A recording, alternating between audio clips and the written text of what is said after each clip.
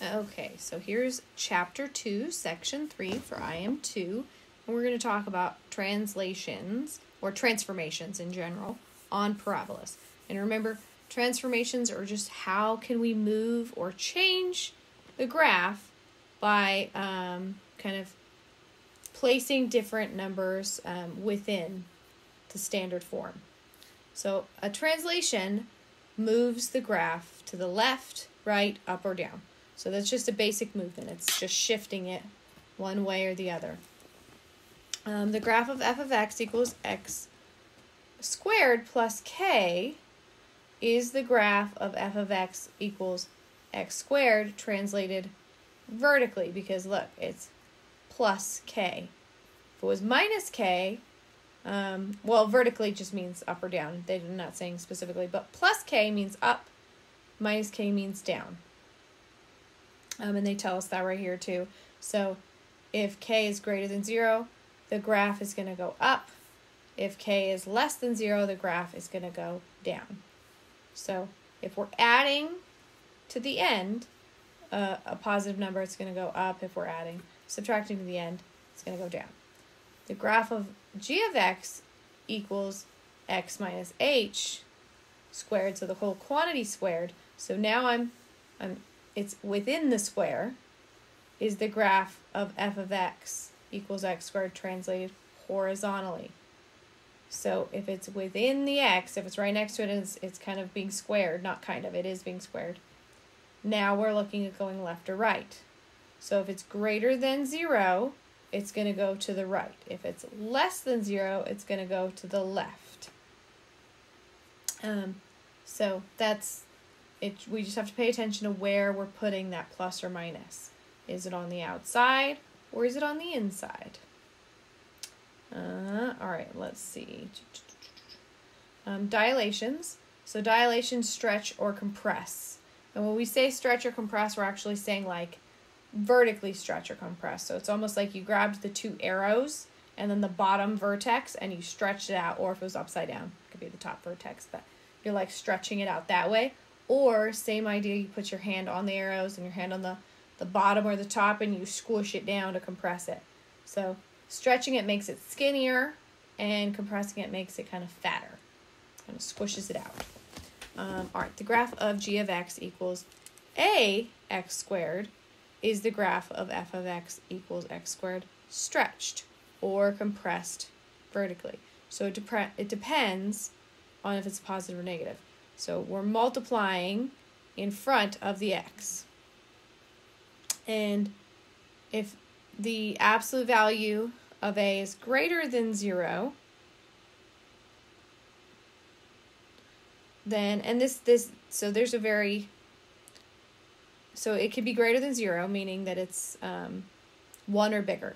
Then we're going to stretch out the graph. If it's less than 0 or less than 1, can't be less than 0. Sorry, I said that funny the first time. It's the absolute value. So basically, we're looking for a fraction here. Then the graph is compressed. Okay, so those are the, the two pieces we're looking for there. Reflections, it flips a figure across a line. Um, usually it's one of the axes, but not always. Um, so the graph of negative f of x is the reflection of the graph f of x equals x squared across the x-axis. The graph of f of, f of f of negative x is the reflection of the graph of f of x equals x squared across the y-axis. So if the negative is applied outside, then it, it flips over the x-axis. If it's applied inside here, then it's applied to the y-axis. So remember, think of f of x like y, if you kind of think of that. So it's like a negative y, then the reflection happens over the y-axis. If it's a negative x, which is exactly what this x represents, then it's over the y-axis. All right, so let's take a look at that on this next screen here. And we're just going to describe what's happening to these three problems. So all we have to do is describe the translation. Uh, so if we're looking at this and we have 10 plus x, this is happening inside the parentheses. Inside. So if we go back and we look, we had outside and we had inside. So this is going to go horizontal. So it's going to be left or right. We're adding 10. It's a positive 10. I'm not talking about th- this is a this positive belongs to the x, but it's a positive 10. So we're adding 10. Um, and that's actually one thing I did want to bring up. They had that backwards on this one. Um, because it's inside a parenthesis, it's actually the opposite. So if it's greater than 0, it would be left. If it's less than 0, it would be right. So it's actually the opposite of what we think. So if it's a negative number, then you go left. If it's a positive number, um, sorry, if it's positive number, you go left. It's a negative number, You're right. I'm mixing myself up with the corrections here. Um, and it's because it's in that grouping, it kind of does the opposite of what you think it's going to do. So that's, that's always true whenever we're kind of inside of a, a grouping symbol. So this is going to go 10 units, uh, and it's going to go 10 units left. And it's just a translation. Translation. So we're not we're not stretching or compressing it. We're not flipping it over any axis or anything like that. We're just translating it 10 units to the left. Um, all right, so, um, and that's based on f of x equals x squared, which is our parent function.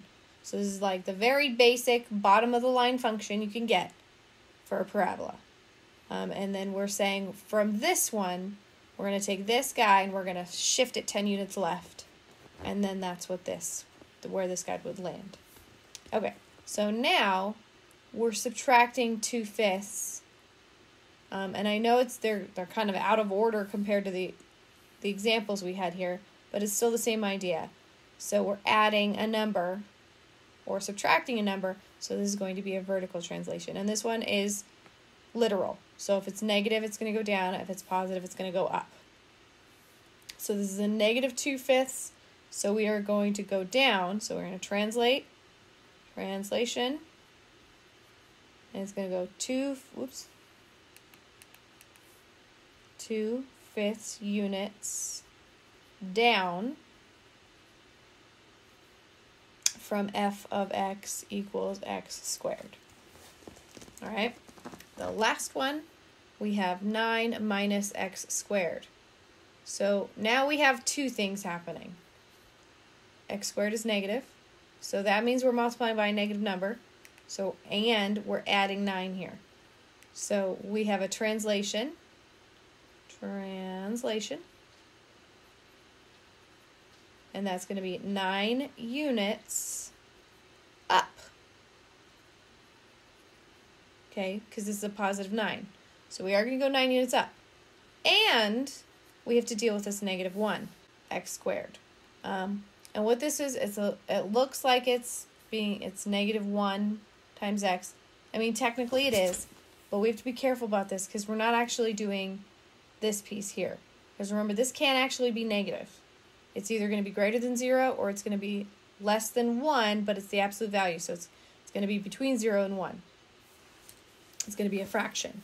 So it's actually this guy down here, and it's specifically this one. So what we're doing is we're we have a negative parabola. So it's a negative a, and that's what this represents here, is that there's a negative in front. Even though I know it's it's out of order a little bit, it's negative x squared plus 9 is how it should be written. So that we can see that this is a, and it's negative, the, the negative 1 there. So it's going to reflect reflect um, across at the x-axis. The x-axis,